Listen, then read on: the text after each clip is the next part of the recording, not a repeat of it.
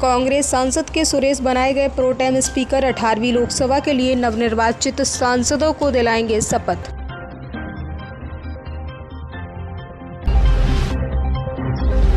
खपत बढ़ाने के लिए कर दरें घटा सकती है सरकार। सरकारी खजाने को होने वाले नुकसान की होगी भरपाई।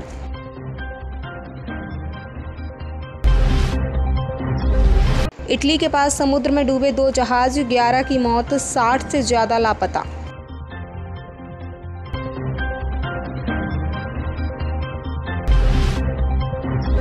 लोकसभा चुनाव के नतीजों के बाद शरद पवार ने सीएम एकनाथ शिंदे को लिखी चिट्ठी।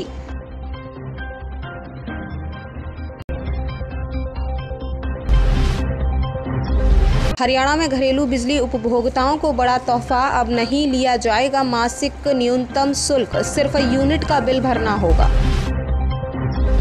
किरोड़ी लाल मीणा ने इस्तीफा पर तोड़ी चुप्पी, बोले, ज़रूरी नहीं सरकार में रहकर ही काम किया जाए।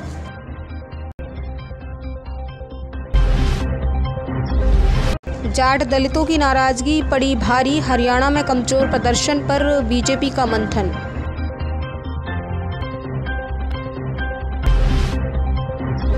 निखिल गुप्ता ने अमेरिकी कोर्ट में खुद को बताया निर्दोष।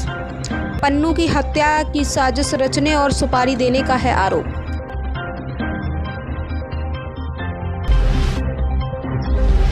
दिल्ली में आप सरकार के खिलाफ भाजपा ने खोला मोर्चा, लगाए आरोप।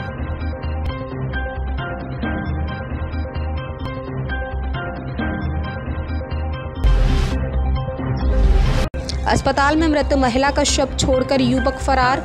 सीसीटीवी फुटेज के आधार पर जाँच में जुटी पुलिस।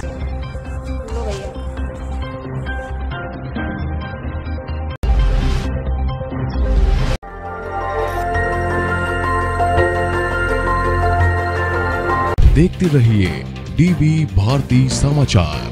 नज़र हर खबर पर।